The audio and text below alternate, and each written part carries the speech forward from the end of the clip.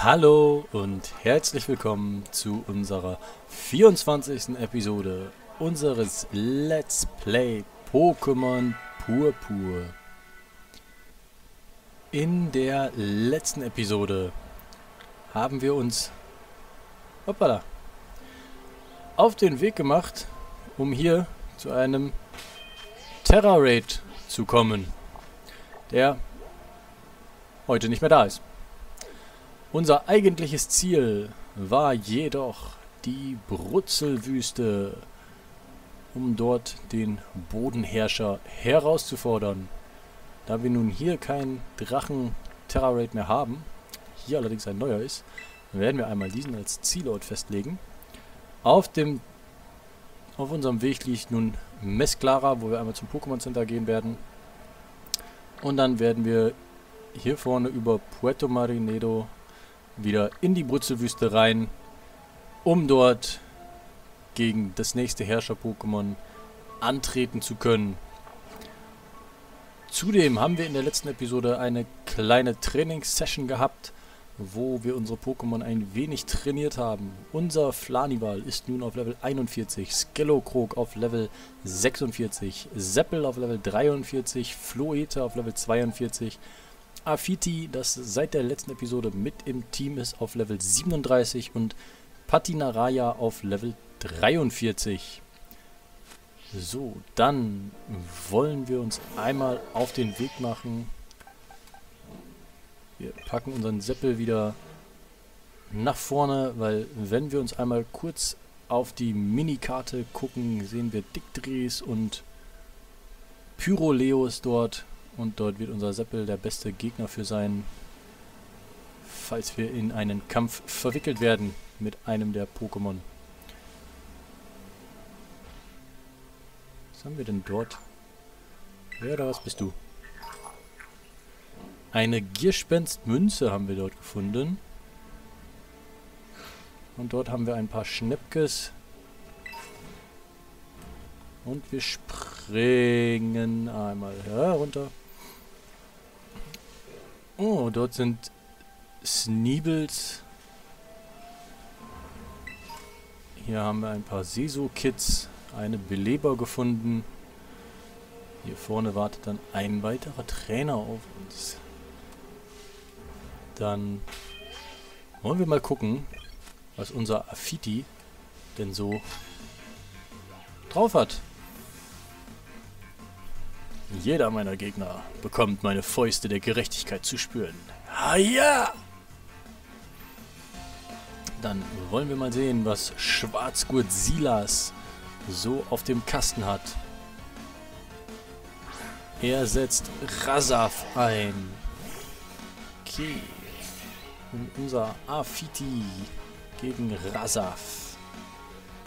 Wir... Ähm,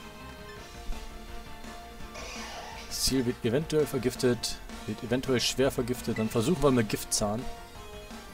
Ich weiß jetzt gerade nicht mehr, ob Giftangriffe auf Kampf überhaupt effektiv sind, aber ja, das sind sie. Und wir haben Rassaf schwer vergiftet.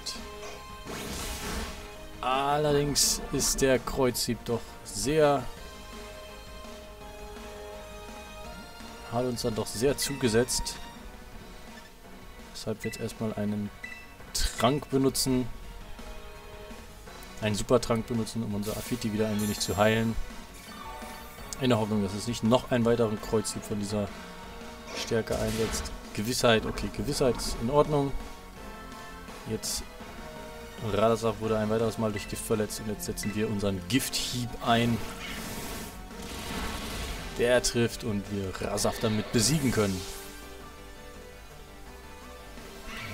Damit hat sich unser Afiti als ein wertvolles Teammitglied schon mal herausgestellt und Patinaraya versucht Eisenschädel zu erlernen.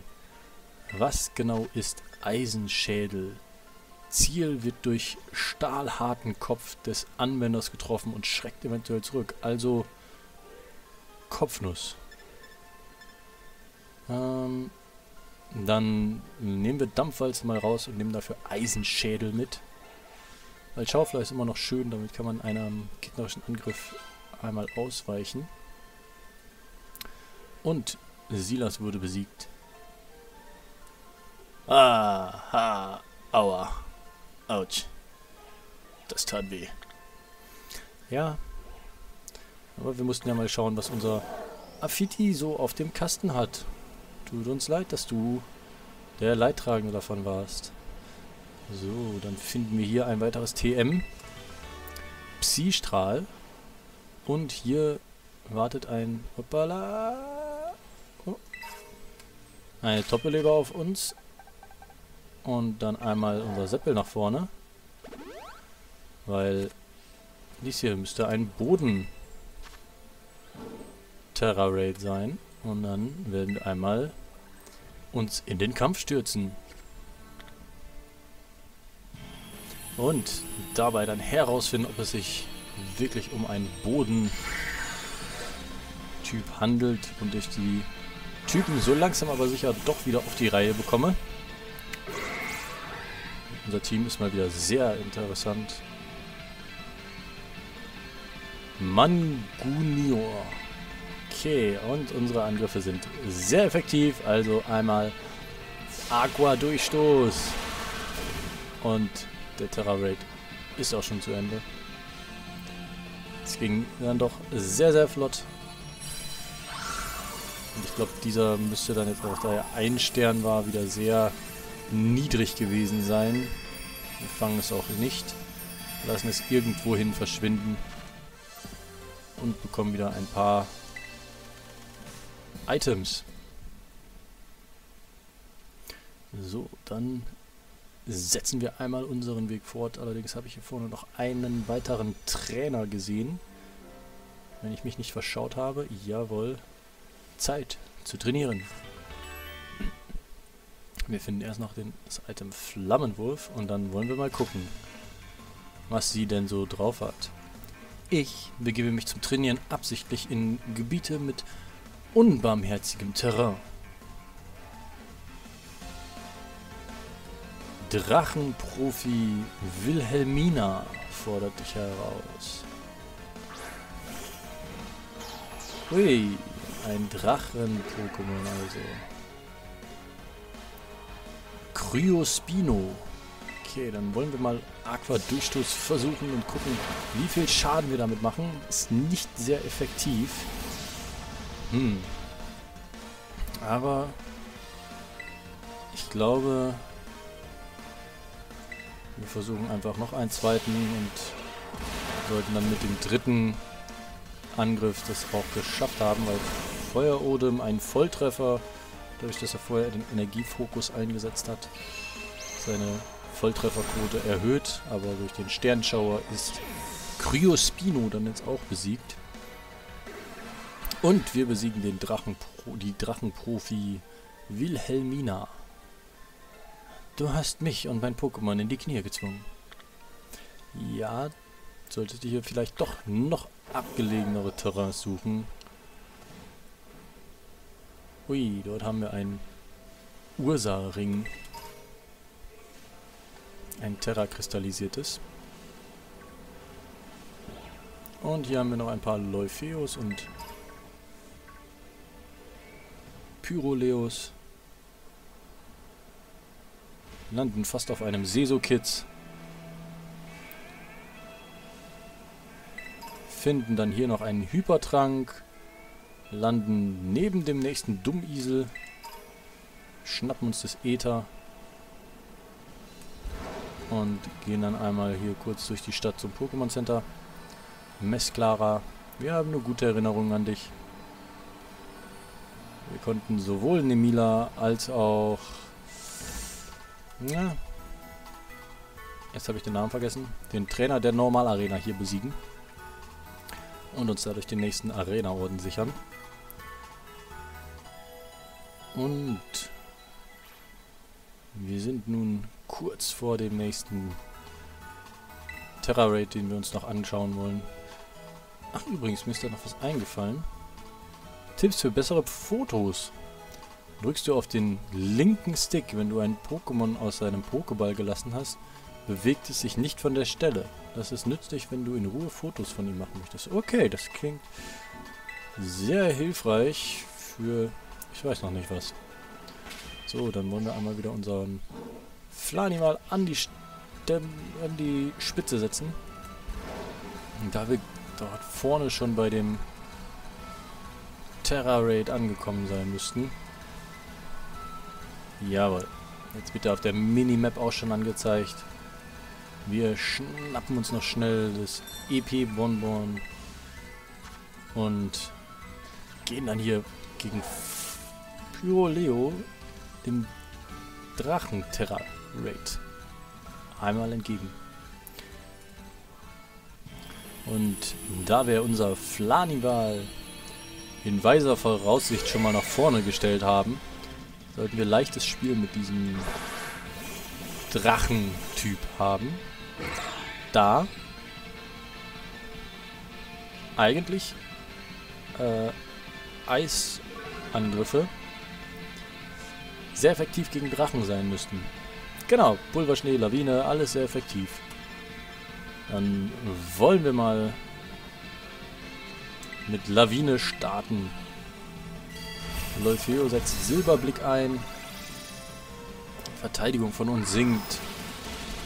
Aber Lawine war sehr effektiv. Und wir haben auch diesen Terra Raid besiegt. Ich weiß nicht, ob ich mir gerade... Wir fangen dieses Leufeo auch einfach mal. Ob ich gerade unbeabsichtigt immer nur die Ein-Stern Terra Raids ansteuere oder ob wir aktuell noch keine höheren hm, antreffen können. Weil diese sind alle sehr einfach, wie ich finde, aktuell. Aber mal schauen, vielleicht wird sich das auch demnächst noch ändern. Wir konnten auf jeden Fall dieses Leufeo vom Typ, vom Terra-Typ Drache fangen. Jetzt müsste man dem nur noch einen Drachenangriff beibringen, der dann dementsprechend ähm, durch den Terra-Typ verstärkt wird. Ich weiß nicht, ob das überhaupt möglich ist. Allerdings wird dieses auch erstmal nicht in unserem Team mit dabei sein. Leufeo. Es wurde ein Poker-Eintrag. Nein. Und wir schauen uns den Bericht auch erstmal noch nicht an. Und haben nun ein Leufeo vom Terra-Typ Drache gefangen. In Deutschland gerade irgendwas vom Pokédex wartet eine Belohnung auf uns. Dann wollen wir doch mal gucken, was dort steht.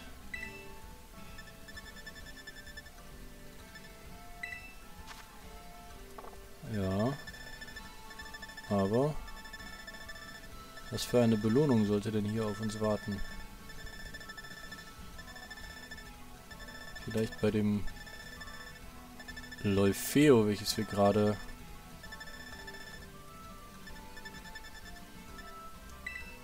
Ah, ne, hier unten, wenn ich den X-Knopf drücke. Ah! Dein Pokédex enthält jetzt 10 Einträge. Dafür bekommen wir drei Säckchen Sternenstaub. Und jetzt bei 20 bekommen wir 10 Superbälle. Da wir schon drei, über 30 haben, bekommen wir einen Donnerstein. Und wir bekommen 10 Hyperbälle. Okay, wir sind kurz vor dem nächsten Eintrag. Wenn wir ein weiteres Pokémon gefangen haben, bekommen wir den nächsten, äh, die nächste Belohnung. Allerdings jetzt erst einmal wieder unser neues Ziel festlegen, was eigentlich kein neues Ziel ist, sondern ja, das Ziel, wo wir jetzt schon ein wenig darauf hinarbeiten. Und wir müssen ja auch gleich schon da sein, sofern wir jetzt den Eingang hier irgendwann mal finden. Beziehungsweise müssen wir erst hier rüber auf die andere Seite. Ich glaube, damals haben wir hier vorne einfach einen Sprung gewagt. Und wir werden es einfach nochmal versuchen. Hier rüber springen.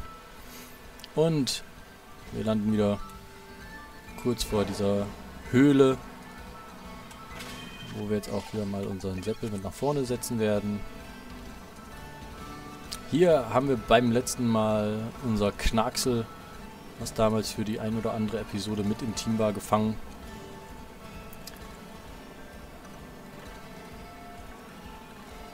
Und Wir sehen ja auch noch ein paar weitere Pokémon, die wir bisher noch nicht gefangen haben.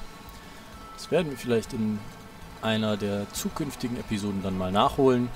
Lasst mich gerne mal in den Kommentaren wissen, ob ihr Interesse daran hättet, dass wir eine Episode lang alle möglichen Pokémon aus einem bestimmten Gebiet, welches ihr dann bestimmt fangen sollen, oder ob ihr da keine Lust drauf habt. Ähm, ich persönlich habe es früher immer sehr genossen, den Pokédex zu vervollständigen. Oh, ein Picknick. Ähm, aber wie gesagt, da könnt ihr gerne mal mich wissen lassen, ob ihr da Lust dran hättet, Interesse daran hättet an so einer Episode. Die würde dann vom Inhalt her nicht viel bieten, außer dass wir sehr viel versuchen oder versuchen sehr viele Pokémon in einem bestimmten Gebiet, wie zum Beispiel hier in der Brutzelwüste, zu fangen. Oh. Dort läuft zum Beispiel ein sehr interessantes und da hinten rollt schon etwas. So. Da wir schon durch die Brutzelwüste gefahren sind, ähm, haben wir den Anruf von Pepper schon bekommen. Bring, bring. Yo, Ryan. Angeblich befindet sich der Herrscher der bebenden Erde irgendwo in dieser Wüste. Der Boden bebt jedenfalls schon seit einer ganzen Weile. Mir wird langsam echt schlecht davon. Sorry, aber ich muss eine kleine Pause einlegen, bevor ich mich wieder der Herrschersuche widmen kann. Okay? Also. Und mich interessiert jetzt tatsächlich, was das für ein Pokémon ist.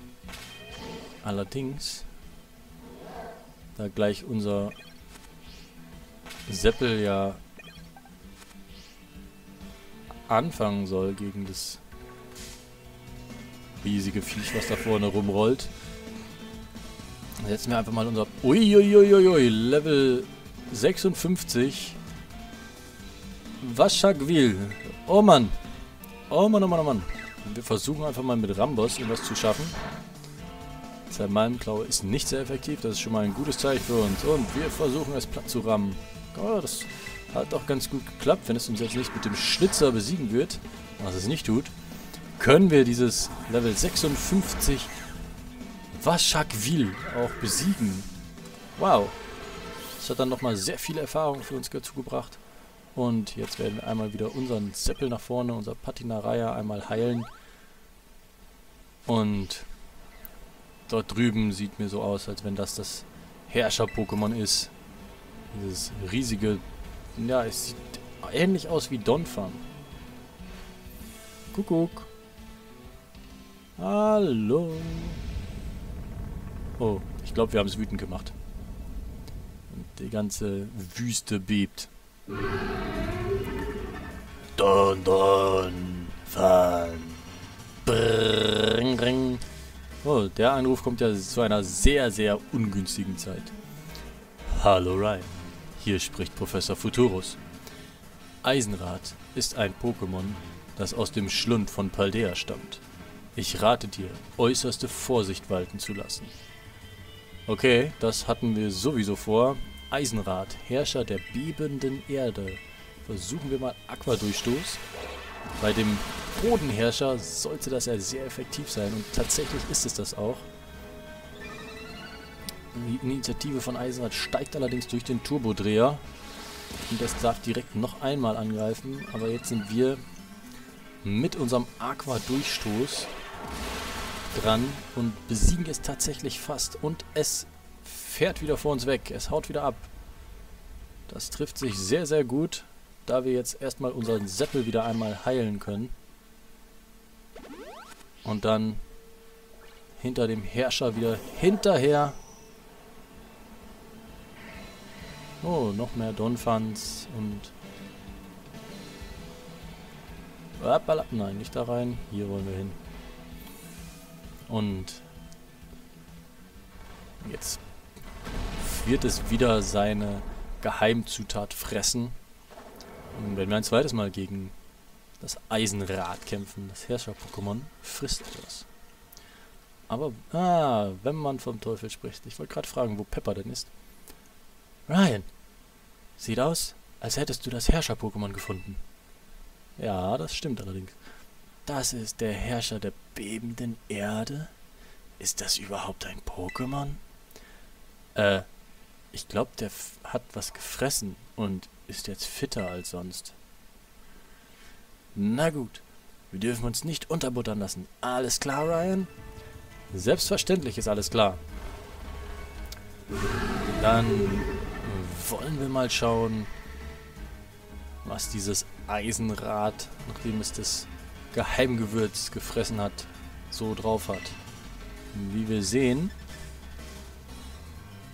setzt Pepper ein Jalapeno ein. Was auch sein einziges Pokémon ist. Hier kommt mein Jalapeno, das ich in der Nähe gefangen habe. Bereit für einen feurigen Abgang? Ui. Das ist nicht so gut. Das ist gar nicht gut. Und sein Jalapeno singt einfach nur den Initiativ von ihm. Durch den Sandsturm nehmen wir wir Schaden. Er nicht. Okay. Ähm, ich würde sagen, wir riskieren einfach einen weiteren Aqua-Durchstoß. Oh ja, der ist deutlich besser als die Wasserdüse gerade. Er setzt Feuerzahn ein, ist auch sehr effektiv. Ist zurückgeschreckt. Das war doch mal eine sehr schöne Kombination. Und jetzt können wir einmal unser Seppel heilen. Ähm, was haben wir denn, was haben wir denn, was haben wir denn? Limonade füllt 70. Nee, das ist zu wenig.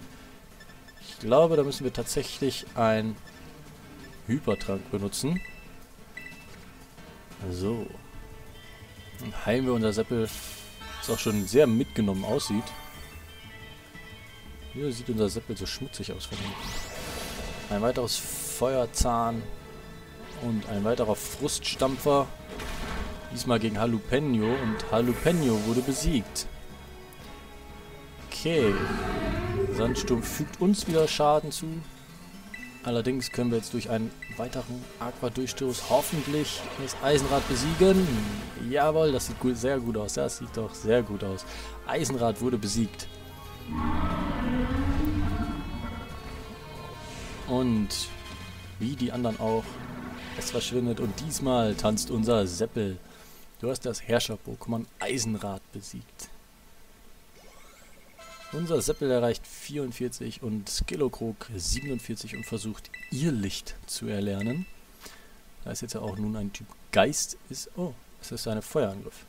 Anwender feuert unheimliche Flammen ab, die beim Ziel Verbrennung verursachen. Wir können allerdings durch Flammenwurf schon verwirren und haben hier auch einen sehr guten Angriff. Dementsprechend kommt es erstmal nicht dazu versucht Bürde zu erlernen. Was genau macht denn Bürde? Eine Attacke, bei der der Anwender das Ziel bedrängt. Fügt Zielen mit Statusproblemen hohen Schaden zu. Ähm, ich glaube, dann behalten wir aber erstmal unseren Spukball. Und belassen es dabei.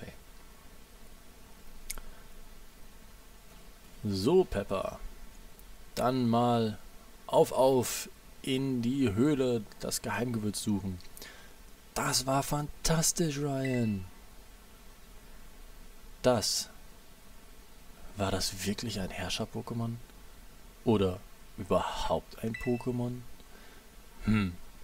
Aber irgendwie habe ich das Gefühl, es schon mal irgendwo gesehen zu haben. Wo könnte Pepper es schon mal gesehen haben? Wir finden darin bestimmt noch mehr von dem Geheimgewürz, das dieses Ding gefressen hat.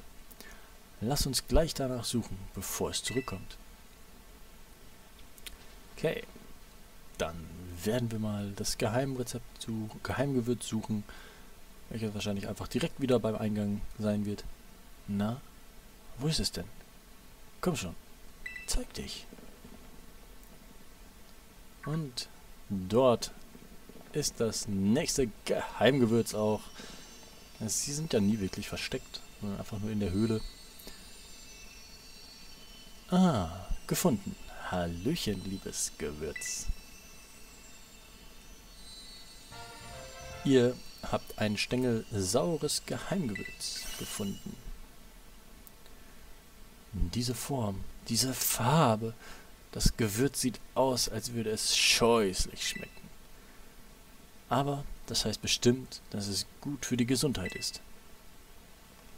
Mal sehen, was das Buch dazu sagt.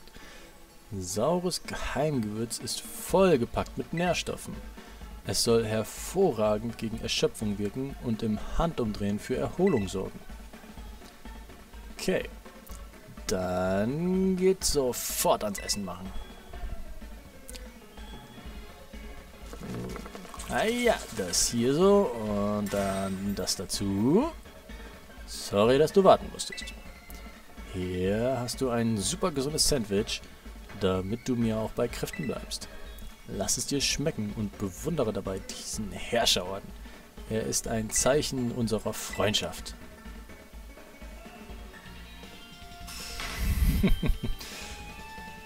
ja, die Herrscherorden von Pepper werden immer und immer besser.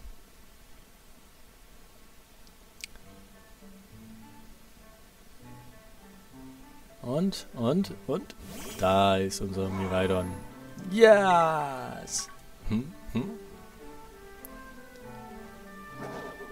Möchtest du Miraidon dein Sandwich geben? Na gut. Yeah! Komm raus, Mastifioso. Es gibt Essen. Ah, es ist immer noch sehr schwach. Aber wird ja mit jedem Sandwich immer wieder fitter und fitter. Hoffen wir mal, dass es hier wieder auch das gleiche passiert.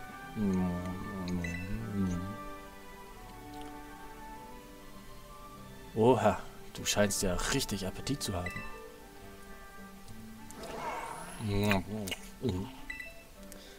Ja, unser Miraidon verschlingt einfach alles. Ah ja! Miraidon hat die Reittechnik Gleiten erlernt. So langsam scheint es seine alten Kräfte wiederzuerlangen. Aber trotzdem sieht es nicht so aus, als würde es bald wieder seine Kampfform annehmen, was? Ah ja. Körperlich scheint es ja fit zu sein. Vielleicht hält es eine geistige Blockade davon ab? Wie meinst du das? Ich spreche von einer seelischen Wunde. Wie heißt das nochmal gleich? Trauma. Davon habe ich mal in diesem in einem Buch gelesen.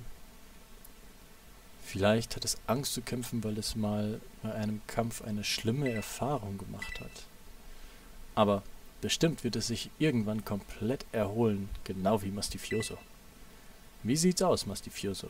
Wirkt das Gewürz schon? Was? Oh, tut mir leid. Ich kann nicht jedes Mal erwarten, dass es dir gleich besser geht. Nicht jedes Gewürz zeigt sofort Wirkung. Oh so. Ach, alles okay. Mach dir keine Sorgen. Ryan und ich sehen schon zu, dass wir dich wieder fit bekommen. Das letzte Gewürz, das noch fehlt, kann ja nur der Bringer sein. Ja, ganz bestimmt ist das so. Ryan, das nächste Ziel ist das Ende unserer Gewürzsuche. Geben wir im Endspurt nochmal alles. Los, los, los! Ah ja! Was? Hm. Schade, dass das Gewürz diesmal beim Mastifioso nicht sofort eine Besserung seines Zustands gebracht hat, gezeigt hat. Aber wir bekommen direkt den nächsten Anruf von Professor Futurus. Bring, ring. Hallo Ryan, hier spricht Futurus. Miraidon scheint erneut einen Teil seiner ursprünglichen Kraft wiedererlangt zu haben. Offenbar kann es jetzt durch die Luft gleiten, wenn du inmitten eines Sprunges den B-Knopf drückst, während du auf ihm reitest. Drückst du den B-Knopf, während du mit Miraidon in der Luft bist, kann es nun gleiten. Drückst du während des Gleitens erneut den B-Knopf, hört es auf zu gleiten und stürzt an der aktuellen Position herab. Ich vertraue darauf, dass du dich auch weiterhin gut um Miraidon kümmerst. Das haben wir bisher getan und das werden wir auch weiterhin tun. Und damit hat auch diese Episode leider schon ein Ende gefunden. Ich hoffe, ihr schaltet auch beim nächsten Mal wieder mit ein, wenn unsere Reise weitergeht. Lasst gerne einen Kommentar dazu da, ob ihr auch mal eine Episode haben möchtet, wo wir uns dem Fangen von Pokémon ähm, mehr widmen. Und bis dahin, habt eine schöne Zeit und ciao!